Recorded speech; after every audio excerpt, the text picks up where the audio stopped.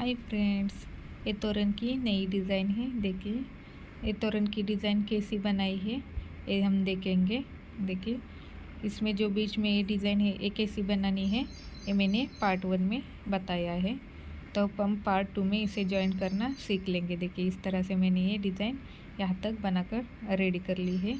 देखिए, यहाँ पर एक चेन लेंगे और जो हमारी डिज़ाइन तैयार है, वहाँ पर हमने जो तीन चेन लिया था, वहाँ पर इस तरह से ज्वाइन करेंगे और और एक चेन डालेंगे।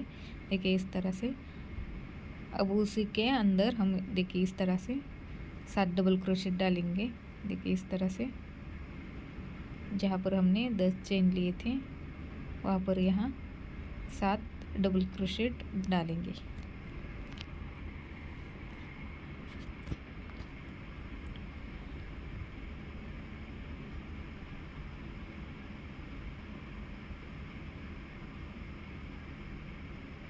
देखिए, इस तरह से हम सात डबल क्रोशेट डालने के बाद, जहाँ पर हमने तीन चेन लिए थे, वहाँ पर सिंगल क्रोशेट डालेंगे।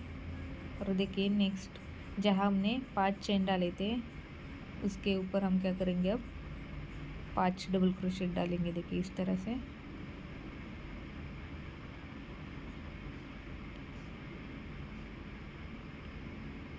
देखिए, इस तरह से पाँच डबल क्रोशेट डालेंगे।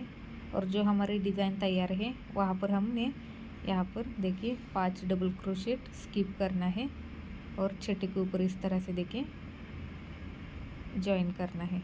देखिए इस तरह से, ये डिज़ाइन को इस तरह से जॉइन करना है और उसी पर और चार डबल क्रोशेट डालेंगे। यहाँ पर हम टोटल नौ डबल क्रोशेट डालेंगे। देखिए इस तरह से।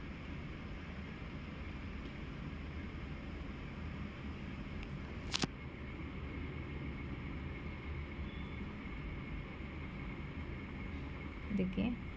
नेक्स्ट जहाँ पर हमने तीन चेन डाले थे, वहाँ पर इस तरह से ज्वाइन करेंगे। देखिए। नेक्स्ट जहाँ पर हमने दस चेन डाले थे, उसके ऊपर हम क्या करेंगे अब? सात डबल क्रोशेट डालेंगे।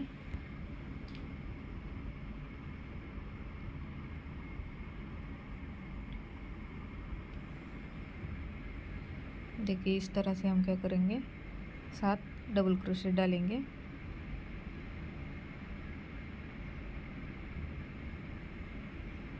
उसके बाद क्या करेंगे? एक चेन लेंगे, देखिए।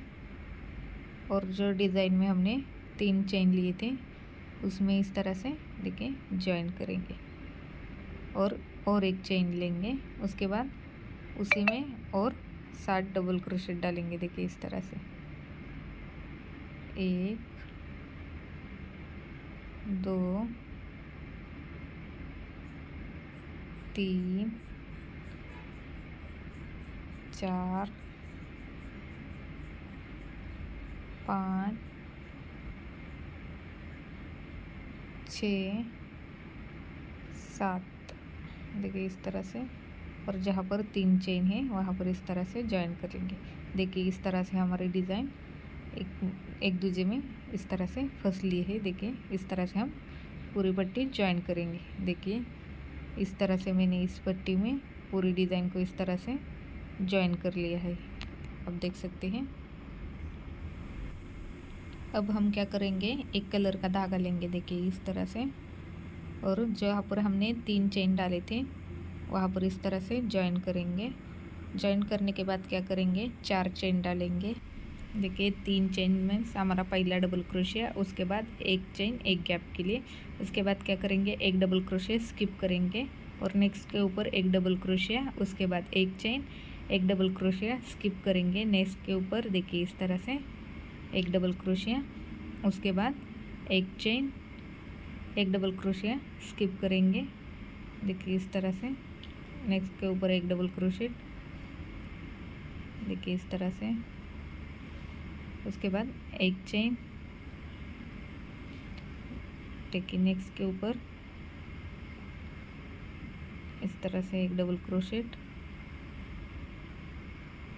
यहाँ पर हम अब चेन नहीं डालेंगे, यहाँ पर हम क्या करेंगे सिंगल क्रोशेट डाल के ये डिज़ाइन बूंद देंगे यहाँ तक ये डिज़ाइन हमने बूंद ली है। अब हम क्या करेंगे, जहाँ पर जो दो पंखुड़ियों को हमने ज्वाइन किया है, वहाँ पर देखिए इस तरह से धागे को डालेंगे और यहाँ पर सिंगल क्रोशेट बनाएँगे। देखिए इस तरह से। अब हम यहाँ पर चेन नहीं लेंगे, सीधा इस तरह से देखिए, एक डबल क्रोशेट बनाएँगे। उसके बाद क्या करेंगे एक चेन लेंगे, एक डबल क्रोशेट को स्किप करेंगे और नेक्स्ट के ऊपर एक डबल क्रोशेट अब वही प्रोसेस हम रिपीट करेंगे। देखिए इस तरह से।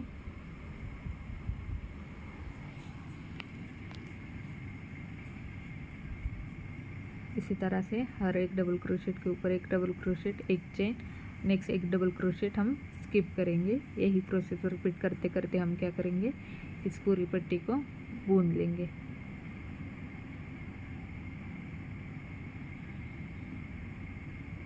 देखिए इस तरह से हम क्या करेंगे। यहाँ पर जो बीच में गैप है, वहाँ पर इस तरह से सिंगल सिंगल क्रोशे से ज्वाइन करेंगे। देखिए, इस तरह से ये डिज़ाइन हम पूरी बनाकर तैयार करेंगे। देखिए देखिए, इस तरह से हम यहाँ लास्ट तक आए हैं। अब हम क्या करेंगे? देखिए, इस तरह से सिंगल क्रोशे के ऊपर एक सिंगल क्रोशेट डालेंगे। उसके बाद एक चेन डालेंगे। एक सिंगल क्रोशेट स्किप करेंगे देखिए इस तरह से। देखिए इस तरह से। एक सिंगल क्रोशेट के ऊपर एक सिंगल क्रोशेट उसके बाद एक चेन एक सिंगल क्रोशेट स्किप करेंगे। देखिए इस तरह से इस डिज़ाइन को हम बुन देंगे देखिए इस तरह से। और लास्ट में जब पंखुड़ी ख़त्म होंगी, वहाँ पर हम क्या करेंगे? देखिए इस तरह से सिंगल क्रोशे से बुन देंगे देखिए इस तरह से, इस डिज़ाइन को हम पूरी तरह से दोनों साइड से बूंद लेंगे। देखिए, हमने ऊपर की साइड से बूंदा, वो उसी तरह से, नीचे की साइड से हम ये डिज़ाइन बूंदेंगे। देखिए, इस तरह से ये हमारे डिज़ाइन दोनों साइड से बूंद कर तैयार हो गई है। देखिए, इस तरह से ये डिज़ाइन हमारी तैयार हो गई है। देखिए, इस तरह से फ्लावर कैसे बनाना है इसका लिंक मैं डिस्क्रिप्शन बॉक्स में दूँगी। इसका मैंने अलग सा वीडियो बनाया है। देखिए, वो वीडियो देखकर आप ये फूल बूंद लेंगे। देखिए, अब इसे हम ज्वाइन करेंगे। देखिए, इस तरह से फूल को लेंगे। उसके ऊपर इस तरह से धागे से, इस तरह से देखिए, धागा बाँध लेंगे अच्छे से। उसके बाद क्या करेंगे, इसमें हम अपने मनपसंद जितने साइज़ के चाहिए इतने मोती डालेंगे देखिए इस तरह से। आपको जितना ऊपर नीचे लगाना है, इस तरह से आप अपने हिसाब से लगा सकते हैं कम ज़्यादा। देखिए इस तरह से पंखुड़े के बीच में इस तरह से इसे हम क्या करेंगे? ज्वाइन करेंगे। देखिए इस तरह से हम ज्वाइन करेंगे। अब भी इसे इस तरह से ज्वाइन करें ताकि अपना धागा यहाँ पर दिखेगा नहीं। देखिए इस तरह से इसको हम इस तरह से पैक करेंगे, देखिए। आप अपने हिसाब से इस मोती को कम ज़्यादा कर सकते हैं। देखिए, इस तरह से धागे को कट करेंगे, देखिए। हमारा धागा दिखेगा नहीं। देखिए, इस तरह से आप अपने हिसाब से कम ज़्यादा मोती करके यहाँ पर इस तरह से लटकन लगा सकते हैं, देखिए, इस तरह से।